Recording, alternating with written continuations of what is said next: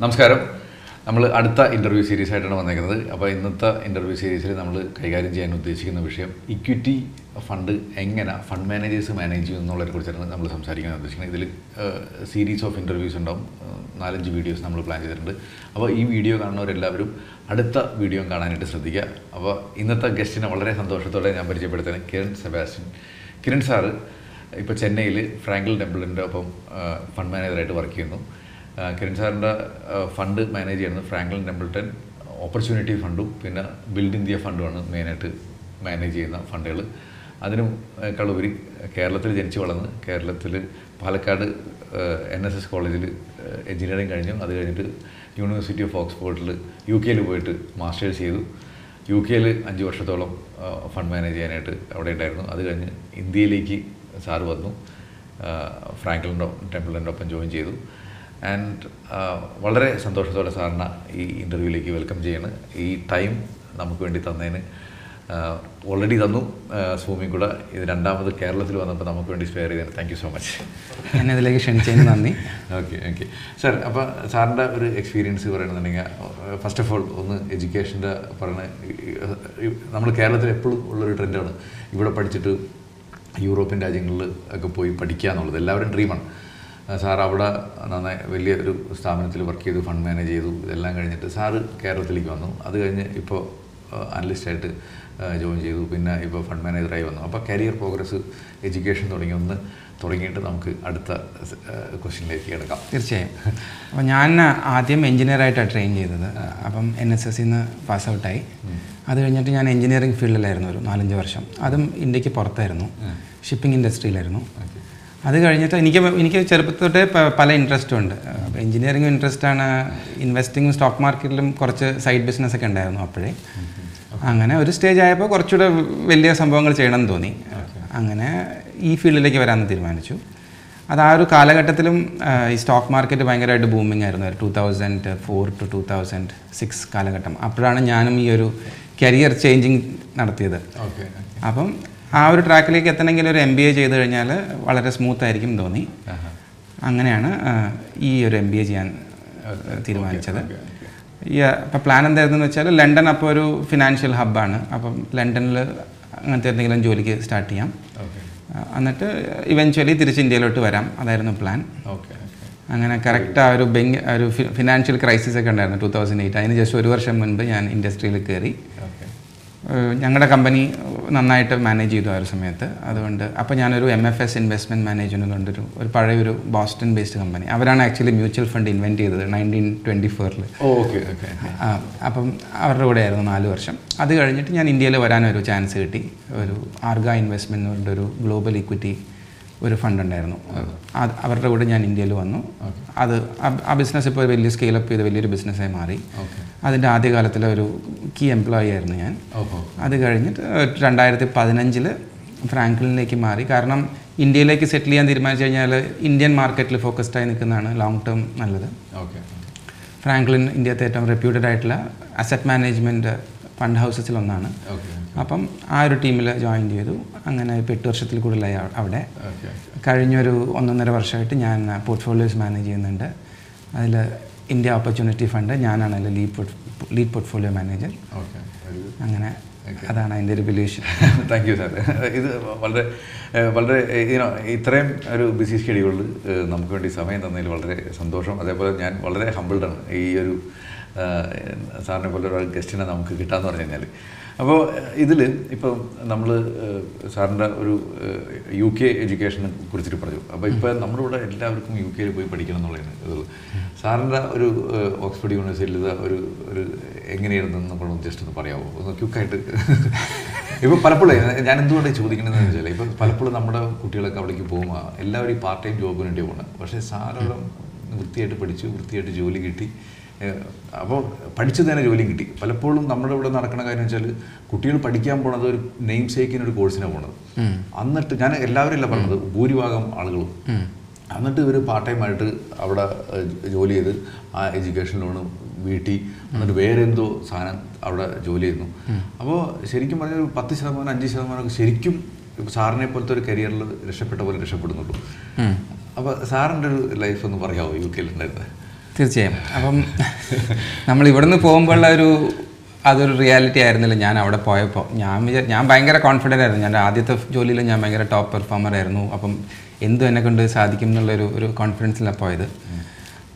അവിടെ പോയപ്പോൾ തന്നെ മനസ്സിലായി ഈ- ഈ മാർക്കറ്റ് ഭയങ്കര ഡിഫറെന്റ് ആണ്. ഒന്നാമത് നമ്മൾ അവിടെ എത്ര നല്ല യൂണിവേഴ്സിറ്റി ആണെങ്കിലും അവിടെ ഈ ഇന്ത്യത്തെ പല ഗ്യാരണ്ടീഡ് ക്യാമ്പസ് പ്ലേസ്മെന്റ് ഒന്നുമില്ല.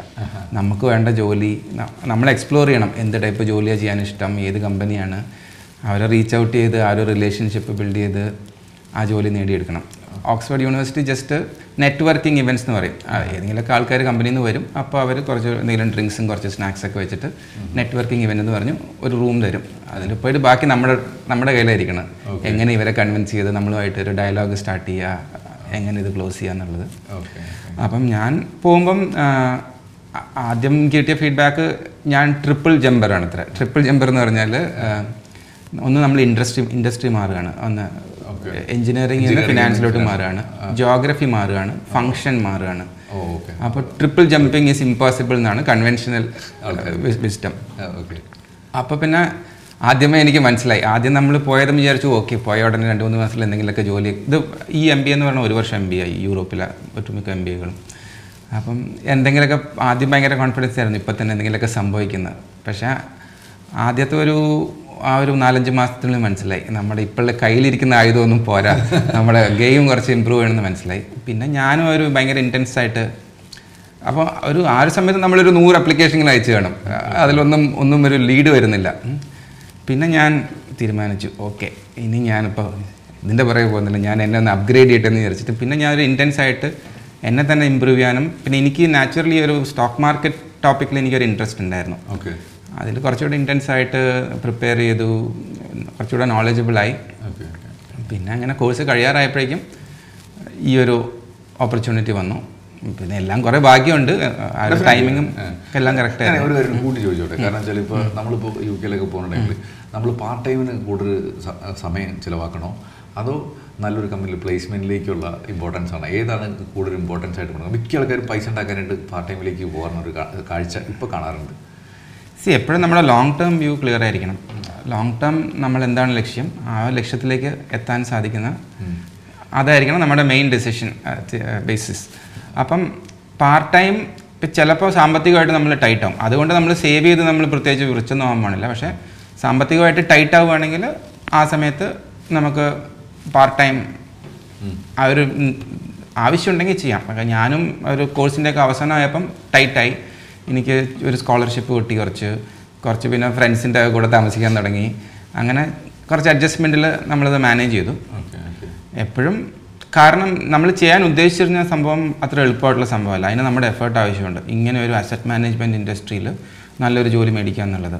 അപ്പോൾ അതിനായിട്ട് വർക്ക് ചെയ്ത് തന്നെ നമ്മുടെ കുറേ സമയം പോകും പിന്നെ അവിടെ ജോലിയും നമ്മൾ അതിന്റെ പുറകെ അന്വേഷിച്ചിറങ്ങിയാലേ ജോലി കിട്ടുള്ളൂ.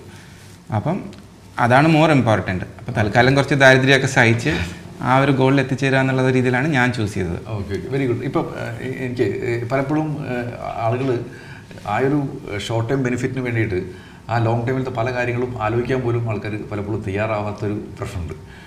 ഇനി നമ്മളിപ്പോൾ സ്റ്റോക്ക് മാർക്കറ്റിൽ ഇവിടെ എപ്പോഴും ഒന്ന് ചെയ്തിരുന്നു എന്ന് പറഞ്ഞു. അപ്പോൾ നമുക്കിപ്പോൾ പല ആൾക്കാരും സ്റ്റോക്ക് മാർക്കറ്റിൽ ഇനീഷ്യലി തുടങ്ങണതിന് ട്രേഡിങ്ങിലാണ് അപ്പോൾ സാറ് സ്റ്റോക്ക് മാർക്കറ്റിൽ ഇൻട്രസ്റ്റ് വന്നപ്പോൾ എങ്ങനെയാണ് തുടങ്ങിയതും അതേപോലെ ഒരു സീരിയസ്ലി സ്റ്റോക്ക് മാർക്കറ്റിൽ കരിയർ തുടങ്ങാനായിട്ട് സാർ എന്താണ് ഡിഫറെന്റ് ആയിട്ട് ചെയ്തതെന്ന് പറയാമോ?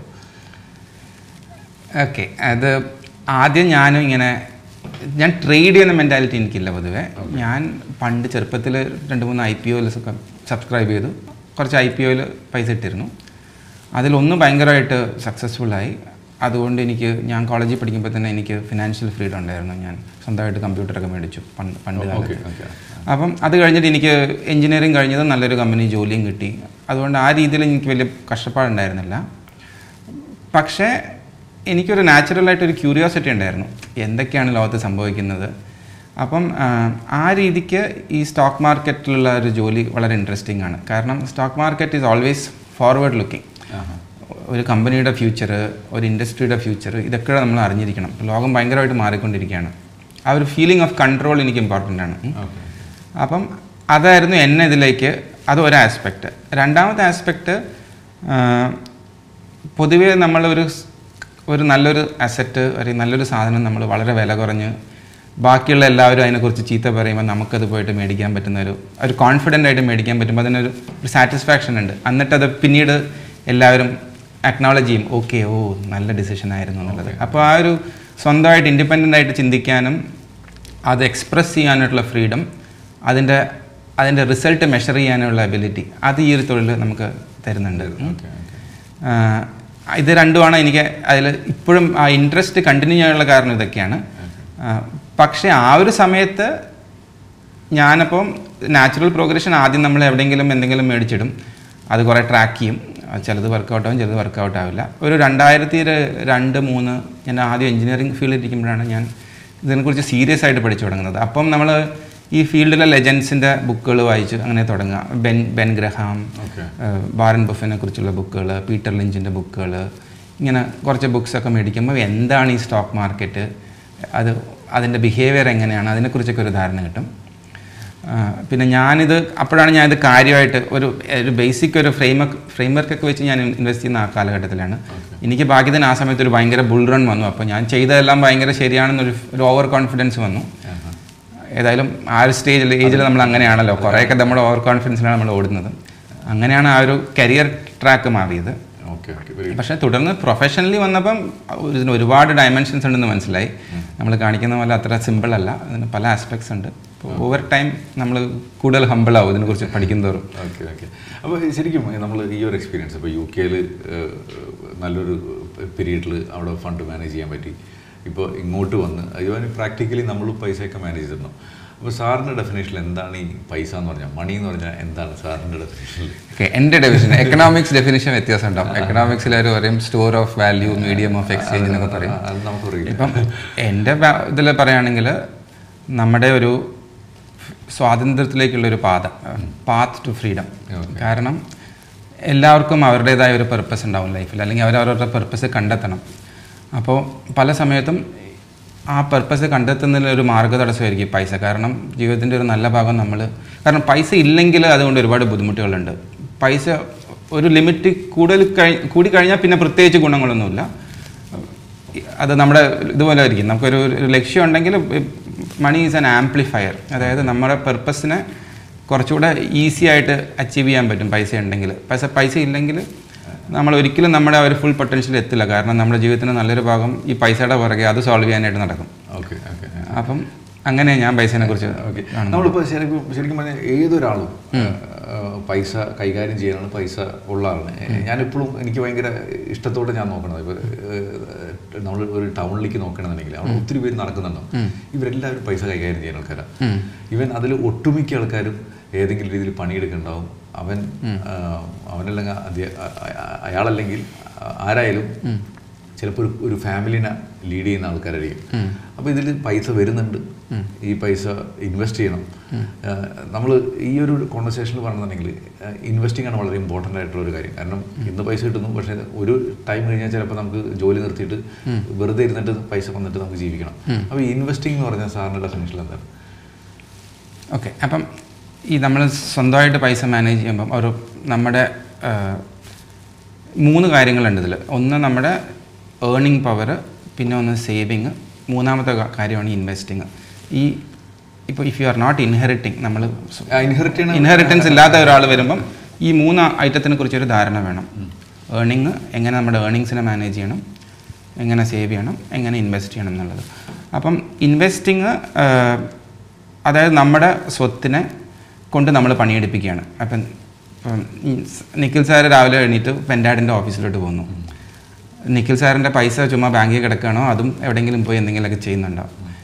കാരണം നമ്മൾ കൂടുതൽ ഏൺ ചെയ്യുന്തോറും ഓർ കൂടുതൽ സേവ് ചെയ്യുന്തോറും നമുക്ക് കൂടുതൽ വെൽത്ത് ഉണ്ടാവും പണിയെടുക്കാൻ റെഡി ആയിട്ട്. നമ്മുടെ വർക്കേഴ്സാണ് അവർ അതിനെക്കൊണ്ട് പണിയെടുപ്പിച്ച് കഴിഞ്ഞാൽ അവർ നല്ല രീതിക്ക് പണിയെടുക്കുകയാണെങ്കിൽ കുറച്ച് കഴിയുമ്പോൾ നമ്മൾ ഓഫീസിൽ പോകേണ്ട കാര്യമില്ല. അവർ തന്നെ പണിയെടുത്തോളും. അപ്പോൾ നമ്മുടെ സ്വത്തിനെ കൊണ്ട് എങ്ങനെ പണിയെടുപ്പിക്കാം അത് നല്ലൊരു രീതിയിൽ എവിടെ എത്തിക്കാം? അതാണ് ഇൻവെസ്റ്റിങ്ങിന്റെ ലക്ഷ്യം. അത് അപ്പോൾ ആദ്യം ഈ ലക്ഷ്യം കണ്ടെത്തണം. നമ്മ അതിനാണ് നല്ലൊരു ഫിനാൻഷ്യൽ പ്ലാനറെ ആരെങ്കിലും നിർത്തി നമ്മുടെ റിസ്ക് പ്രൊഫൈലൊക്കെ മനസ്സിലാക്കി എന്ത് എവിടെയാണ് നമ്മൾ എത്തിച്ചേരേണ്ടത് എന്ന് കണ്ടെത്തുക. അത് കഴിഞ്ഞിട്ട് നമുക്ക് ആ പ്രോബ്ലം സോൾവ് ചെയ്യാം. എങ്ങനെ അത് സോൾവ് ചെയ്യണം എന്നുള്ളത്. അപ്പോൾ അതാണ് ഗോൾ നമ്മൾ ഞാൻ എല്ലാവരോടും ഗോൾ ബേസ് ഇൻവെസ്റ്റിംഗ് അപ്പോൾ ഗോൾ ബേസ് ഇൻവെസ്റ്റ് ചെയ്യുന്ന സാറ് സിമ്പിളായിട്ട് ഡിഫൈൻ ചെയ്തത് ഇപ്പോൾ അപ്പോൾ ശരിക്കും നമ്മൾ ഇതിൽ ഇൻവെസ്റ്റ് ചെയ്യുന്ന ടൈമിൽ നമുക്ക് ഡെഫിനറ്റ്ലി നമുക്ക് ശരിയാണ് നമ്മുടെ പൈസ വർക്ക് ചെയ്യിപ്പിക്കണം. അതിന് വേണ്ടിയിട്ട് നമുക്ക് വേറെ ഡിഫറെന്റ് അസറ്റ് ക്ലാസ്സിൽ ഇൻവെസ്റ്റ് ചെയ്യാന്നുള്ളതാണ് ഇതിലുള്ളത്. പേപ്പർ അസറ്റ് ഒക്കെ വിട്ടേക്ക്. പക്ഷേ നമ്മൾ അസറ്റ് എന്ന് പറയുമ്പോൾ ഡെഫിനറ്റ്ലി നമുക്ക് ഇക്വിറ്റിയിൽ ഇൻവെസ്റ്റ് ചെയ്ത് കഴിഞ്ഞാൽ ഈ സാധനം വളരത്തുള്ളൂ. അപ്പോൾ എന്താണ് ശരിക്കും പറഞ്ഞാൽ നമ്മൾ ഇപ്പോൾ ഒരു ഇൻഫ്ലേഷനെ ബീറ്റ് ചെയ്യണ ഇൻവെസ്റ്റ്മെന്റ് നമുക്ക് എന്ത് പറഞ്ഞാലും വേണം. അപ്പോൾ സാറിന്റെ ഒരു ഒപ്പീനിയത്തിൽ എന്തിനാണ് ആളുകൾ ഇക്വിറ്റിയിലേക്ക് വരേണ്ടതാണ് സാറിന്റെ ഒരു പോയിന്റ് ഓഫ് വ്യൂ ശരി അപ്പോൾ ഞാൻ ഒരു ഉദാഹരണം പറയാം. നമ്മളിപ്പോൾ കൊച്ചിയിലിരിക്കുക നമ്മൾ അത് നമ്മുടെ ഇന്നത്തെ ഫിനാൻഷ്യൽ റിയാലിറ്റീനെ കൊച്ചിയിൽ നിന്ന് വിളിക്കുക ഉം. നമ്മളൊരു ഒരു കൺസൾട്ടന്റിനെ വിളിച്ച് സംസാരിച്ച് നമ്മുടെ ഗോളൊക്കെ മനസ്സിലാക്കി നമ്മൾ ഇന്ന സാമ്പത്തിക സ്ഥിതിയിലെത്തണം നമ്മൾ തീരുമാനിച്ചു. അതാണ് നമ്മുടെ ഡെസ്റ്റിനേഷൻ അതിനെ കാസർഗോഡ് എന്ന് വിളിക്കാം. നമുക്ക് കൊച്ചിയിൽ നിന്ന് കാസർഗോഡ് പോകണം എങ്ങനെ പോകണം അതാണ് അതിൽ അതിൽ ഡെസിഷൻ എങ്ങനെ പോകണം എന്നുള്ള ഡെസിഷനാണ് അസറ്റ് ലൊക്കേഷൻ ട്രെയിൻ പിടിച്ച് പോകാം അപ്പോൾ ഒരു ആവറേജ് സ്പീഡ് എനിക്കറിയില്ല. നാൽപ്പത് കിലോമീറ്റർ പെർ അവറിൽ എത്തുമായിരിക്കും ഉം. നടന്നു പോവാം. കാറിൽ പോവാം. പല രീതിക്ക് പോവാം. അപ്പം ഒരു റീസണബിൾ സ്പീഡിൽ ഒരു നല്ല സ്പീഡിൽ വലിയ പ്രശ്നങ്ങളില്ലാതെ സേഫായിട്ട് അവിടെ എത്തണമെങ്കിൽ എന്ത് വണ്ടിയാണ് നമ്മൾ പോകേണ്ടത്? ട്രെയിനിലാണോ പോകേണ്ടത്? പ്ലെയിനിലാണോ പോകേണ്ടത്? അതാണ് അസറ്റ് അലൊക്കേഷൻ അതിൽ ഇക്വിറ്റീസിന്റെ റോൾ എന്താണെന്ന് വെച്ചാൽ അതൊരു വളരെ ഈസിലി ആക്സസിബിളാണ് എല്ലാവർക്കും കയറാൻ പറ്റുന്നൊരു ട്രെയിനാണിത്.